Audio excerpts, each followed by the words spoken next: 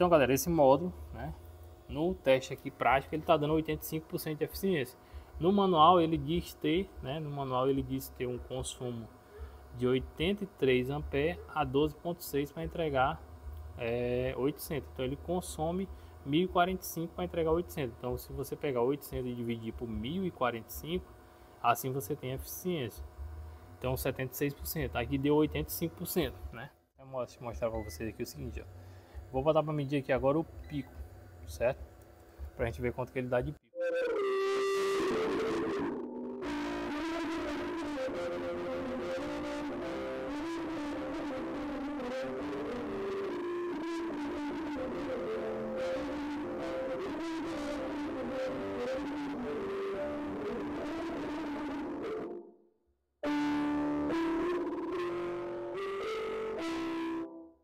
Então galera, aqui limitei com 56 de pico, 60 de pico.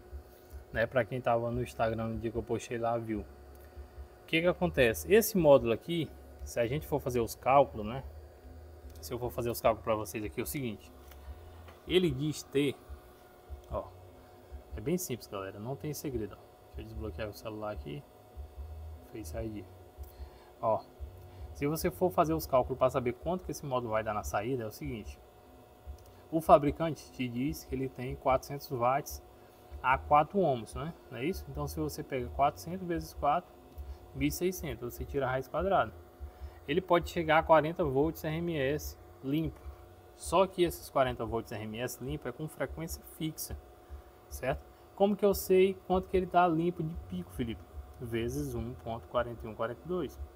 56.5. Quanto foi que deu aqui? 56.9. Então eu fiz meu limite de pico aqui para 56, 56, 57, 58 até 60, dependendo da música. É o que ele dá limpo, né? Eu vou até conectar o osciloscópio aqui para vocês verem.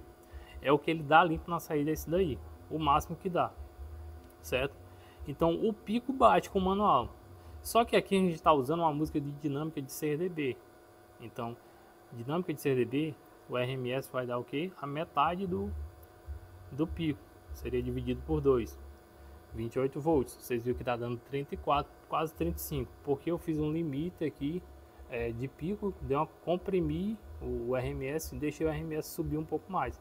Beleza? É o máximo que eu consegui aqui nesse caso, né, usando a 4 a 4 ohms. Tá 4.5 ohms. Beleza?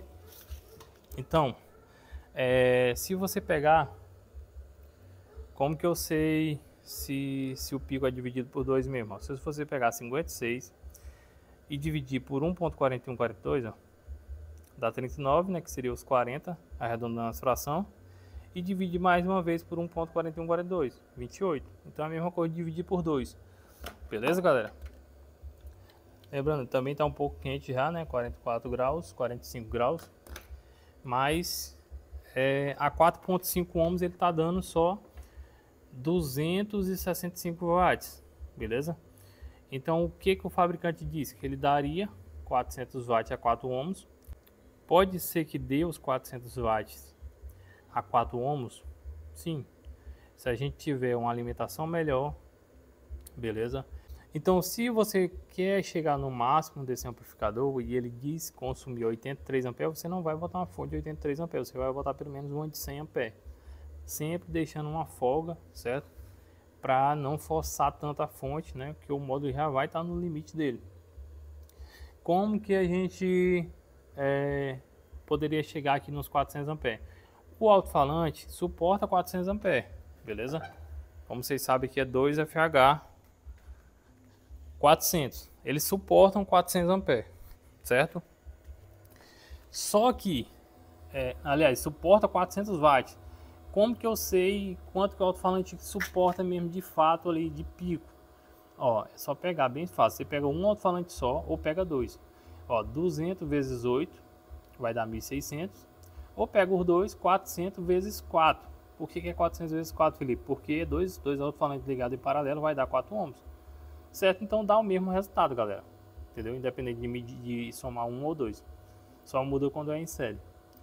Então, ele suporta 40 volts RMS, certo? Esse alto-falante suporta 40 volts RMS, ele vai suportar só 56 de pico, Felipe? Não. Se a gente vai trabalhar com a dinâmica de CRDB e o alto-falante foi aferido com a dinâmica de CRDB, que foi um ruído rosa, ele vai é, é, suportar vezes 2, né? 80 de pico. 40 vezes 2, 80 de pico. 80 de pico dá 4 vezes a potência, galera. Só, só, só vocês pegar e somar. 80 vezes 80, 6.400 dividido por 4, que é a impedância, 1.600. Então, os dois alto-falantes suportam 400 RMS e 1.600 de pico. Ficou claro? É, o pico dá 4 vezes a potência, certo? Mas é a tensão de pico. Vocês veem que esse, esse multímetro aqui, ó, esses dois aqui, 61E Plus e o 19510, eles têm tensão de pico e de RMS. Né? Eles lê pico e RMS. Esse aqui lê pico e RMS muito bem até Twitter, até 5000 é, Hz. Aí você pode botar que ele vai de boa, até 8000 na verdade. E esse aqui até os 5000 vai também, beleza? Bem parelho com esse. Mas esse aqui eu aconselho mais para até TI você pode aplicar. Twitter já fica mais para esse aqui mesmo. Então, resumindo, galera, suporta quatro vezes o pico, né? Seria 1.600 de pico, não vão confundir 1.600 com, com RMS. É, a gente poderia chegar é, a 80 de pico nesse módulo? Não. Ele já, ele já me dá no máximo 56, 60 de pico limpo, já no início da distorção dele. Vou botar o osciloscópio aqui para vocês verem, certo? Agora eu vou conectar o osciloscópio e mostrar para vocês que ele só chega nisso, né? Eu fiz a estrutura de ganho aqui, galera. Eu fiz com ele com é, com o ganho topado, né, que ele seria 250 mV.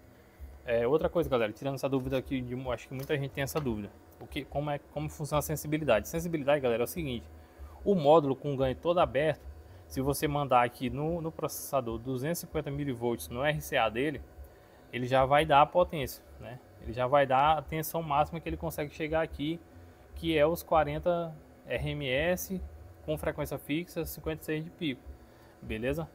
Ele já consegue chegar nisso limpo. Agora você quer usar 1 volt ali na saída, você tem que ir baixando o ganho. Como que eu, como que eu ensino meus alunos a fazer estrutura de ganho? A gente faz estrutura de ganho de acordo com a acessibilidade do módulo. Tem uma técnica lá que eu explico melhor no treinamento, né? Que é meio complexo para explicar aqui, porque é muito, muito detalhe. Mas resumindo, a gente faz o limite aqui na saída, aqui, ó. A gente já faz o limite na entrada do RCA, limite pico RMS ou só o limite, só um limite só, na limpeza de sinal na estrutura de ganho. Aí o zero ganho do modo, certo? Aí eu venho com o ganho do modo aumentando de pouquinho em pouquinho até chegar na tensão que eu quero, beleza? Basicamente é isso. Se você fez e não chegou na tensão que você quer, sujou antes, a estrutura de ganho está errada. Você tem que corrigir, certo? Então, galera, vou conectar aqui agora o osciloscópio na, na saída aqui do módulo para a gente ver quanto que dá, quanto que ele dá limpo ali. Eu vou deixar gravando aqui, não vou cortar.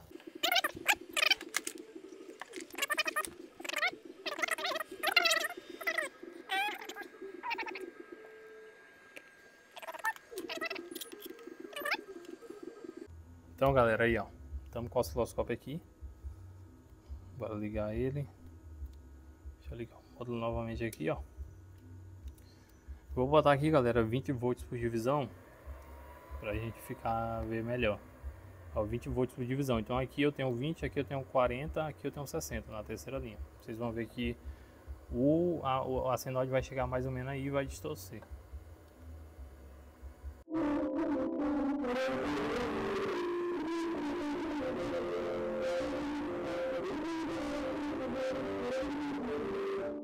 Ó galera, pausei aqui ó. Aqui a gente tem o seguinte, a gente tem 50, é, 60 volts positivo e 60 volts negativo. Então aqui eu tenho zero, né, meu plano cartesiano aqui. Para quem não entende sobre plano cartesiano é só pesquisar. Ó, deu 56.99 de, de pico. 414 Hz nessa frequência que eu travei aqui, ó. Mas vocês verem aqui, ó. Aqui é o seguinte, ó, eu tenho 0, 20, 40, 60. Deixa eu pegar alguma coisa mais fina aqui, fica melhor para vocês. Ó, no meio eu tenho 0, 20, 40, 60. É de 20 em 20. Para baixo é a mesma coisa, 0, menos 20, menos 40, menos 60. Vocês viram aqui, ó, no 60 onde ele está batendo, ó. Ele está enquadrando a onda, ó. Deixa eu abrir para vocês verem aqui, ó. ó. Sujou a onda aqui. Beleza? Então aqui, ó, sujou a onda exatamente 57.6 de pico. Quanto que deu aqui? 56. Então, nosso multímetro ali bate perfeitamente, beleza? É, deixa eu soltar aqui de novo.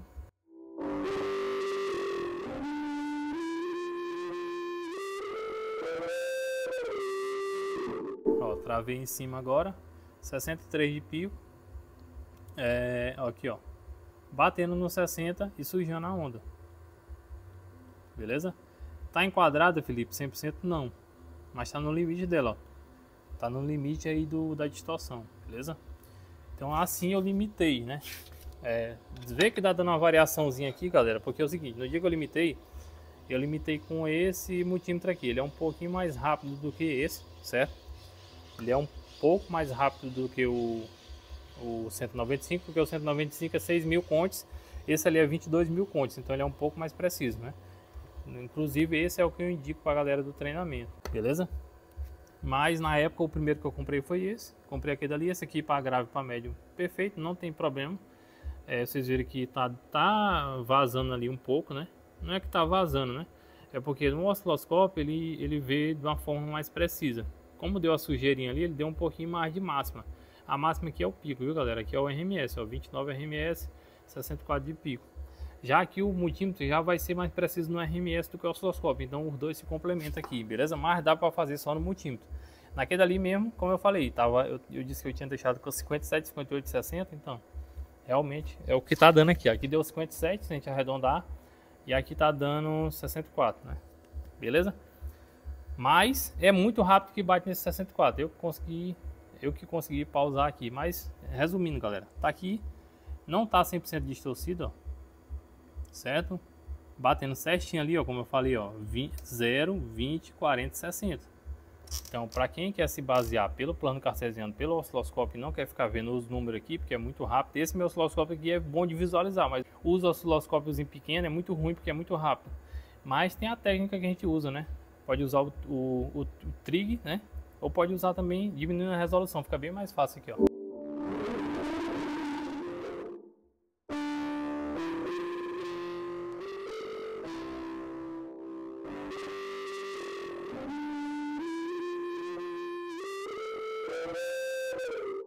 Galera, desse jeito aqui, ó, se você diminuir a resolução, fica bem mais fácil para você ver o pico, ó, 61 de pico, 33 RMS. Perfeito aí a a dinâmica de CRDB, só que você não vê o sinal se o sinal tá limpo, né? Tem esse porém. Aqui como no meu dá para ver fácil, né? A música é fácil de ver também, depende da música, né? Tem que, tem que saber isso aí também. É, eu consigo ver fácil aqui no meu, enfim, tá batendo aqui, né? 56 com 33 RMS. Por que, que tá dando, se a música é CRDB, Felipe tá dando a dinâmica menor que 6? Porque como eu falei, eu fiz um limite de pico que ele tá comprimindo o RMS e deixando o RMS subir. Então quando você chama na mesa ali, o RMS sobe, né? Deixa eu voltar para medir o RMS aqui agora, ó. Pra gente ver, eu vou topar a mesa pra gente ver até quantos RMS que chegam. Embora eu veja também quanto que vai dar de potência aqui, né? Deixa eu ligar aqui novamente uma perímetro. AC máximo. Bora.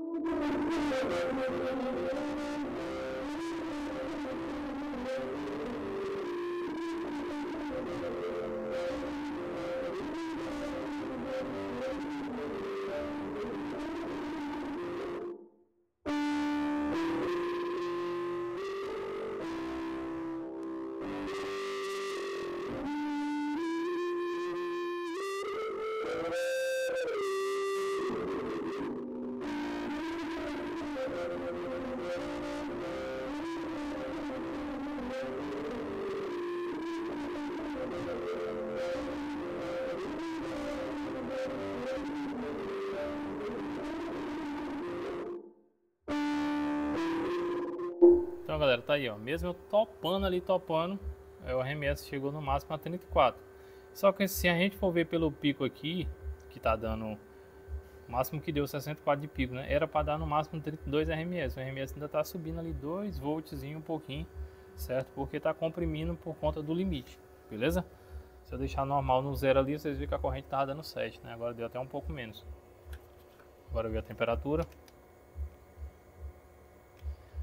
Então, galera, esse vídeo aqui já ficou muito longo, certo? É, vou postar essa parte aqui primeiro, mostrando para vocês aí, para vocês entenderem um pouco sobre eficiência, é, sobre aplicação de potência aqui que a gente está fazendo, limite, né? Limite pico RMS só não havia, mostrando para vocês que funciona, né? Aqui na prática. O máximo que a gente conseguiu chegar aqui, galera, 265 watts de potência nesse DS800 no Bridge, certo? Que era para dar os 400. Mas não está em 4 ohms. E eu estou explicando para vocês que vocês não vão conseguir chegar em 400 com música, porque o módulo limita com 60 de pico.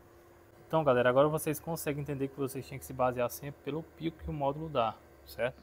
Então, galera, qual seria o módulo ideal aqui para a gente usar para dar 80 de pico? Você pega aqui, é bem simples de saber. Você pega 80 de pico, divide por 1.4142. Felipe, por que, que é 1.4142? Galera, 1.4142 é a raiz quadrada de 2, né? E se você for ver a relação entre o pico RMS de uma senoide, dá 3 dB de dinâmica, que é exatamente 1.4142 ou 70.7%. Se a gente pegar aqui, ó, 100 e dividir por 1.4142 para ficar mais claro para vocês, dá 70.7, né? Então, galera, ó, se você pegar 80 dividir por 1.4142, vai ter 56 watts RMS, beleza? 56 volts RMS, certo? Você precisa de um módulo que consiga chegar em 56 volts RMS, que assim ele vai dar ele vai dar 80 de pico. Ou você pode pegar também 80 e multiplicar vezes 0.707. Dá os mesmos 56.56. Felipe, como que eu sei qual módulo? 56.56 3.199, 3.200 dividido por 4 ohms. Seria o que? Um módulo de 800 watts a 4 ohms, certo? Felipe, mas esse módulo não é 804 ohms? Não, galera, ele é dois canal de 404 ohms. Ou ele é, ele é, ele é 4 canal de 200 a 2 ohms e dois canal de 400 a 4 ohms, beleza? Então teria que ser, galera, um 1600 de 4 canal para esse sistema aqui, certo? É, tanto para TI, né? A TI não, que a TI a gente consegue, a TI precisa de é, 50 de pico é o que eu trabalho nela aqui já está suficiente, não precisa mais que isso não. Para caixa bob, né? Para alta potência, para alto rendimento já teria que ser um módulo melhor. Mas aqui está me suprindo. Agora para médio aqui é, eu teria que botar um mais forte se eu quisesse mais potência, mas eu não quero porque aqui está excelente, certo? Então se você quer mais potência, quer extrair o máximo do seu alto-falante, teria que ser um 1600 X4 aqui de 4 canal de, de 400 um bridge de 804 ohms ou um módulo de 804 ohms também resolveria. É, ah eu não quero botar um, um 1600 eu tenho um 1200 dá certo?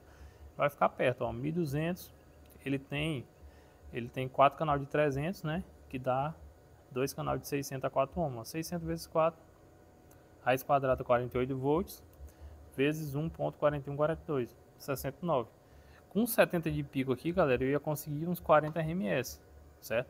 Só que vocês viram que tem a, a tem a, tem a nossa é, corrente, né?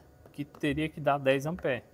Teria que ter aqui, ó, 40 volts RMS limpo, né? Que seria os 70 de pico, acho que daria para conseguir. Ou os 80 de pico, para ficar mais claro. É, com 10 amperes, para dar os 400 watts. Vocês viram que a gente conseguiu 34.8 vezes 7.6, não foi? Foi 7.6 alguma coisa, então deu 265 watts, entenderam? Então tensão vezes corrente igual a potência, certo? Tensão dividido pela corrente igual a impedância. Aqui está em 4.5 ohms. Beleza, galera? Então espero que tenha ficado claro para vocês. No próximo vídeo, já vou gravar agora, posto depois. Vamos deixar uma meta de like nesse vídeo aqui, que esse vídeo aqui ficou muito informativo, né? muita informação mesmo aí para vocês. É, vamos deixar uma metazinha de like aí, uma metazinha básica, 300 likes. Eu solto a parte 2 que vai ser o que? Vocês, vocês já viram que aqui o, o, o limite está funcionando, certo? Eu vou gravar agora aqui médio e grave nesse processador. Aqui a gente já gravou do médio. Eu vou gravar aqui TI e grave agora, quer dizer. E depois vou substituir pelo processador da Taramps e vou trazer a sonoridade desse processador da Tarampes que muita gente pediu, né? Se tem alguma diferença ou não pro Steadis, porque são muito parecidos para quem não assistiu a série aí, tem a série no canal Tarampes versus Steadis, beleza?